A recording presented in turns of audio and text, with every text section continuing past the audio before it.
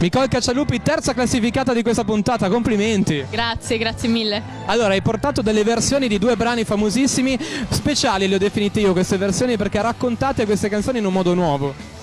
Sì, spero, spero appunto che il nuovo non sempre per forza deve essere penalizzato. Ho provato a portare una nuova versione della canzone, la mia versione. È vero, perché l'importante poi sul palcoscenico è essere se stessi e portare qualcosa di nuovo, no? Di non già visto. Sì, ci si prova.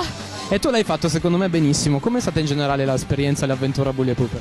Allora, prima di venire qua ero terrorizzata perché avevo la febbre, sono afona da questa mattina e quindi veramente ero in panico. Poi sono arrivata qui, ho fatto la prima canzone e mi sono un po', un po' sbloccata. Ti sei sbloccata. Tra l'altro io le ho dato 10 più per la capacità di rispondere in maniera molto acuta alle domande che le facevo. È stata veramente brava. Grazie Nicole, a presto. Grazie a voi.